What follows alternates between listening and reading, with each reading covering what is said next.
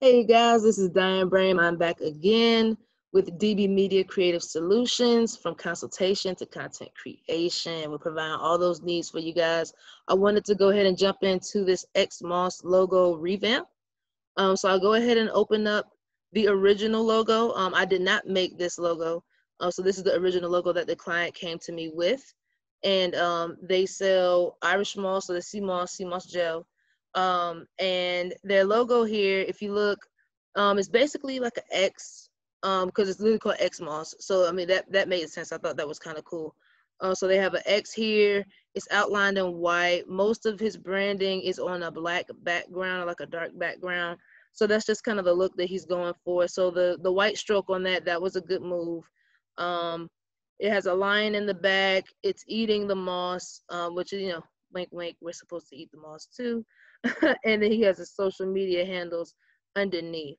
So the logo overall, I mean, it's you know, I never say the logo is bad, um, but he just wanted to spice it up a bit. He hadn't revamped uh, his logo or you know just refresh his branding at all in a while. Um, I also did another video on this YouTube channel where I did the rebranding of his website as well. He liked the logo so much that he wanted me to revamp his website and you can check out that video. I will insert that link down below and uh, you can check that out at your leisure.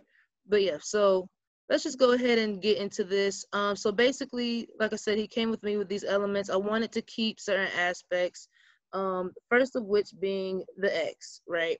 So um, what I did do was I found a font that I thought was kind of cool, like, you know, more modern, basically clean, um, you know, just cleaner than the one that he had. If you look here, it kind of has like this weird double edge, but it's not really anything being done with it. It's it's a it, it, it doesn't have like an extra color in there or anything like that. No extra element there to kind of make it stand out as some type of 3D element, or you know, just to kind of play on that, like even if it's like a different color or something like that.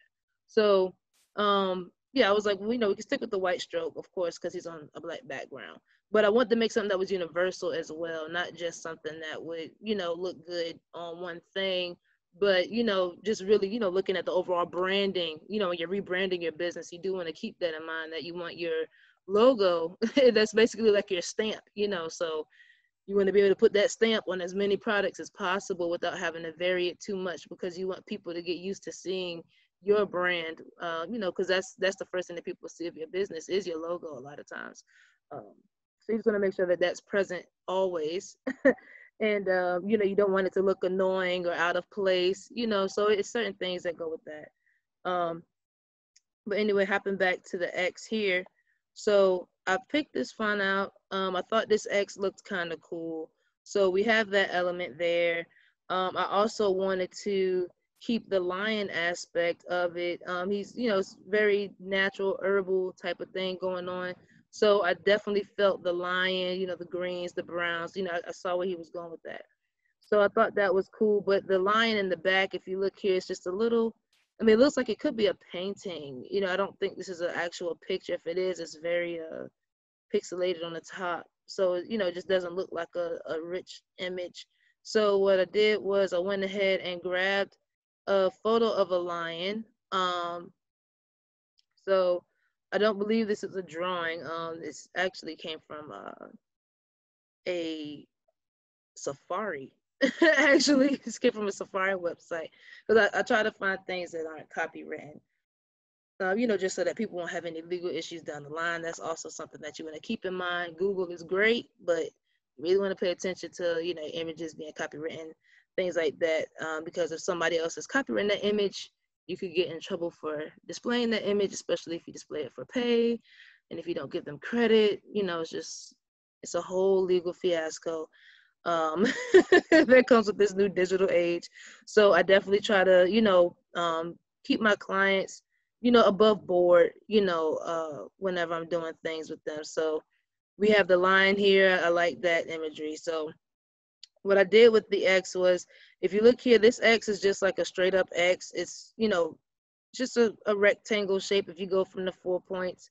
So when I looked at his original logo, I saw how he kind of had this off the side element, like it was a little off kilter, a little bit like, you know, one end was longer than the other for sure.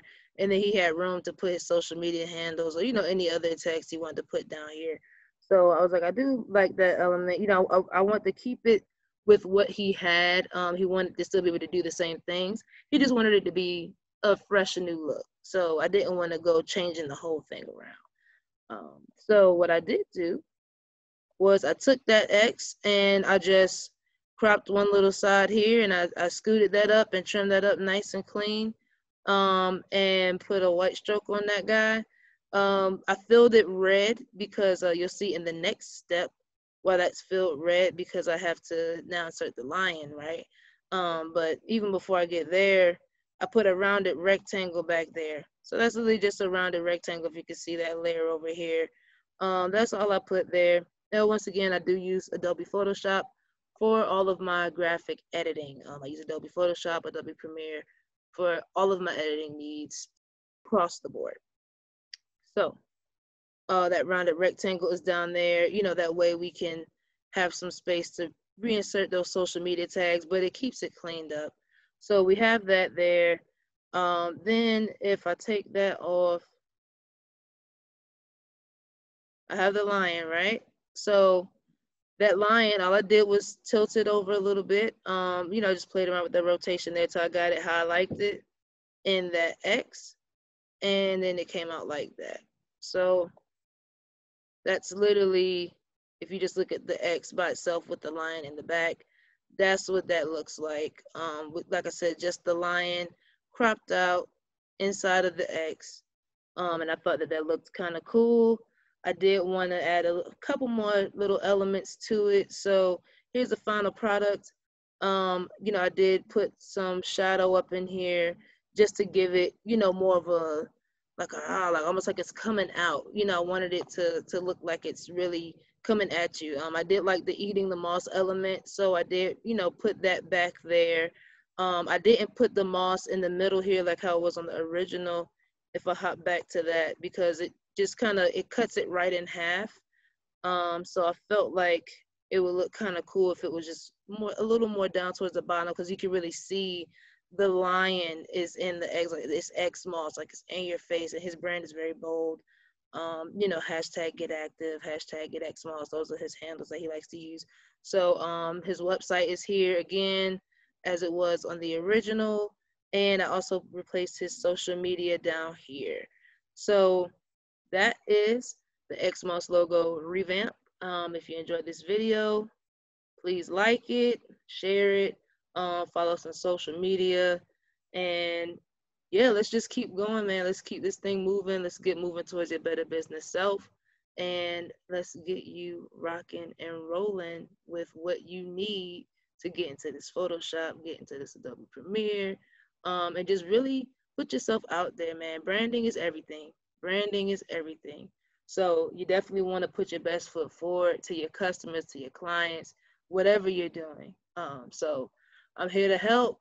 DB Media Creative Solutions is here to assist you with whatever you need, whether it be websites, consultation, business plans, website redesigns, graphic design, logos. Uh, I do everything. I do everything. So um, hit us up, hit us up, hit us up. Thanks for watching.